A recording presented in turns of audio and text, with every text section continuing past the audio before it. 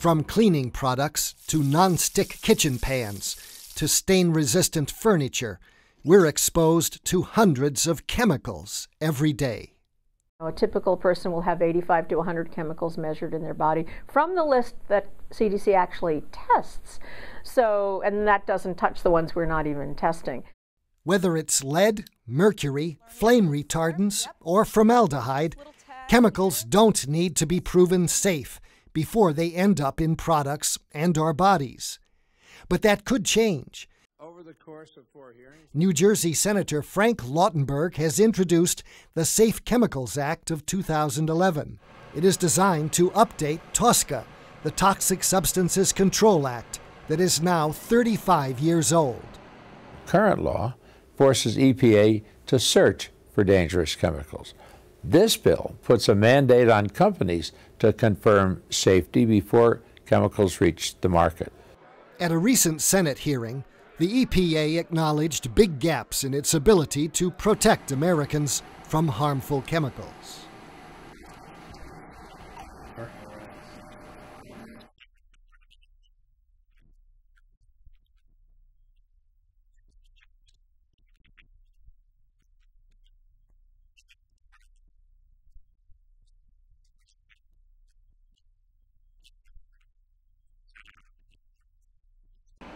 Toxic chemical exposure, even in tiny amounts, is linked to cancer, fertility problems, and learning disabilities. The coalition Safer Chemicals Healthy Families is working for a TSCA overhaul. With chemicals, it really is the Wild West. You get on the market without having to demonstrate safety. Even new chemicals coming on the market now, you do not have to demonstrate that they are safe uh, for human health and the environment. You don't have to prove that they're not linked to cancer we need to have a, a, system that requires much more disclosure of information that is relevant to understanding health and environmental effects of chemicals. Understandably, companies will have certain information that they can and should be able to be kept, uh, to keep private. But that system is out of control right now. Environmental health and industry groups often butt heads over regulation. Yet major chemical companies realize the need to upgrade the law, both for consumer confidence and global competitiveness.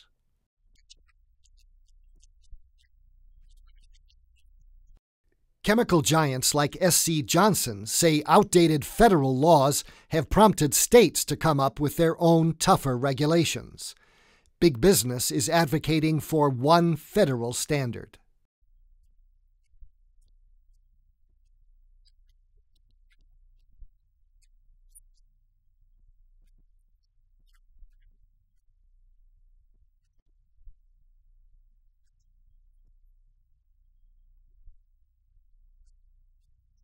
The new bill also calls for prioritizing chemicals based on risk, creating open access to reliable chemical information, and the promotion of safer green chemistry.